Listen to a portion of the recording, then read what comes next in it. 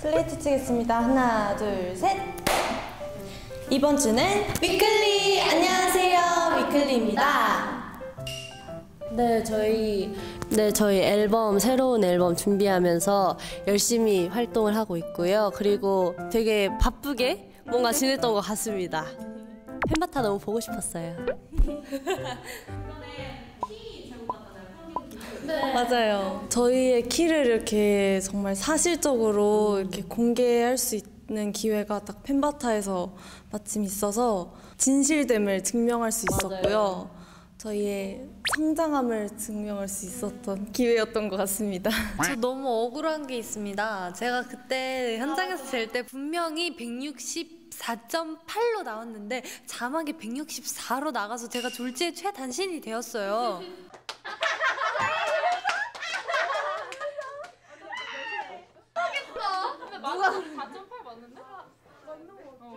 네 그럼 이제 재신 분들이 키를 재주시고 앉으신 분들은 다시 들어가 주세요. 나는 거짓말하지 않아. 정말 얼마나 억울했는지 아세요? 제가 그 뒤로 자꾸 데일리들이 저를 최단신이라고 놀렸단 말이에요. 얼떨결에 탈출해서 졌습니다. 너무합니다. 네, 타이틀곡인 애프터스쿨은요 작년에 일상의 소중함을 정말 많이 느꼈는데요. 친구들과 그리고 우리 데일리와 직접 만나고 싶은 마음을 담은 곡이고요. 역동적인 사운드와 톡톡 튀는 멜로디가 위클리 특유의 상큼한 매력을 느끼실 수 있는 곡이니까 많이 많이 사랑해주세요.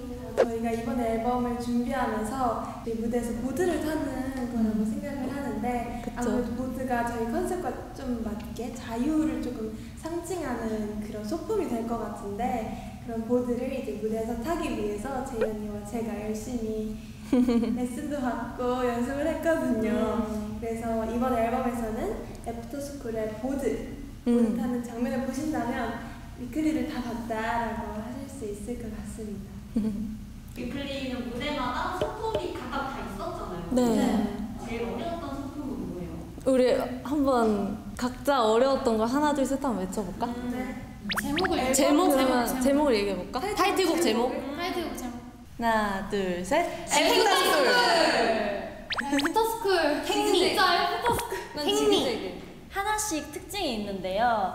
책상과 의자는 이게 이렇게 움직이는데 동선이 많이 어려웠던 게 있었고요. 지그재그는 큐브가 이렇게 바닥에서 큐브를 돌려 굴려야 되는데 이 바닥에 턱이 있거나 하면 굉장히 또 어려운 경우가 있어서 After School은 바퀴가 달려 있잖아요. 그러니까 자기 혼자서 막 저기로 맞아. 갔다가 맞아, 저기로 맞아. 갔다 이러는 거예요. 그런 게 다 하나씩 어려운 점이 있었던 것 같은데 저는 After School 키 소품이 굉장히 어려웠던 것 같습니다. 그때 스케이트보드 날라.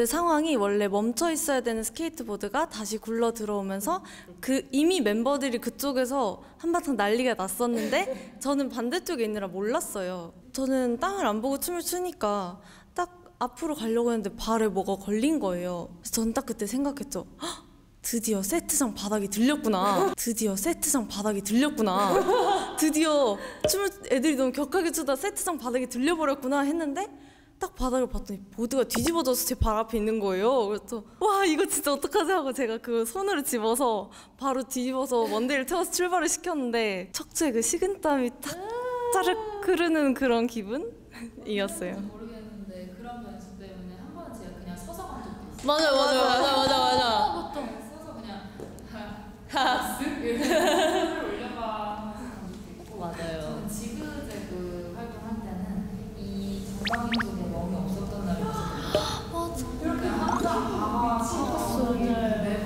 멍이 들어있었는데 아마 멤버들도 아마 이 곡이 최애곡인 멤버들이 많을 것 같은데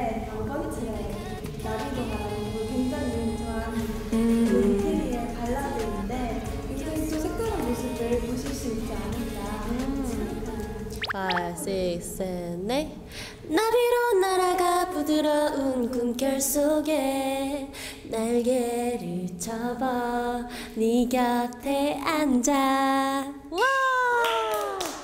첫 라이브입니다. 나비동아 최초 라이브. 펜마타에서 첫 공개! 저도 있는데요.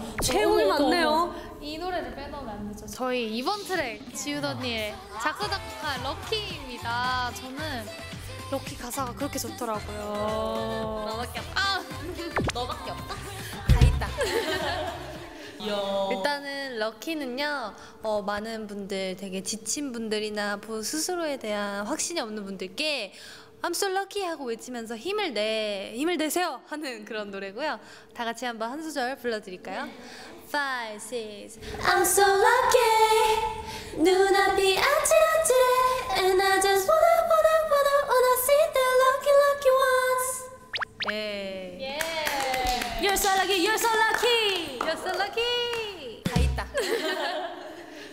어, 개인기는 아니고요. 그냥 딱 한 번 했는데 얘기를 했다가 계속 뭔가 말이 나오는 것 같고 원래는 멤버들이 대기실에서 저 되게 잘 놀아주거든요. 근데 그날만 딱 다들 피곤해서 이렇게 잘 자고 있길래 보통은 같이 게임을 할 텐데 그때는 멤버들이 자고 있어서 이제 저도 정신이 나가서 거울로 보면서 혼자 0078 음, 아 이러면 혼자 0078 음, 아 이러면 혼자 있었던 아 근데 개인기는 아닙니다 여러분 이게. 그렇습니다. 감사합니다. 사실 그때 펜바타 이후로 키를 안 재봤는데요. 그 펜바타 에서 좀 크게 나온 것 같고요. 사실 그렇게 크지 않아요, 여러분. 한 70에서 71 정도 되지 않을까. 에이, 72는 아니다. 내가 70에서 71인데. 제가 해명하겠습니다. 제가 높은 신발을 좋아해서요.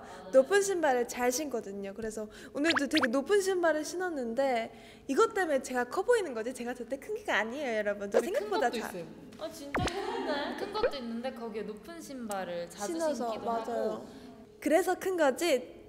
제가 막 그렇게 72막 그거 아니에요. 아, 키를 줄일 수 있는 이 자신감 너무 부러워요. 오히려 저는 높게 얘기할 때가 많은데 우리 조아는 너무 작게 얘기하는 게 너무 부러워요. 저는. 네 그렇다고 하네요. 이제 포기하세요. 근데 원래 키는 어른 될 때까지 지켜봐야 된다 했거든요. 그래서 저는 희망의 끈을 놓지 않겠습니다. 응원할게요. 응원할게요. 제이 씨 일찍 주무세요. 음 드라마 어, 저 제가 요즘 드라마보다 영화를 조금 많이 즐겨 봐가지고요. 영화는 최근에 타이타닉을 봤는데요. 타이타닉을 보면서 굉장히 많이 울고 웃었는데 그때 먼데이 언니도 저랑 같은 룸메이트여가지고 2층에 혹시 제가 우는 소리 못 들으셨나요? 근데 타이타닉 보면서 제가 진짜 침대 이불이 다 젖을 정도로 눈물 바다를 만들었었는데 저 너무 너무 슬퍼가지고 막 울고 그다음에 너무 로맨틱한 장면을 보면서 웃다가 하면서 되게 즐겨봤던 영화 타이타닉 추천드립니다. 네. 잭, 잭, 잭.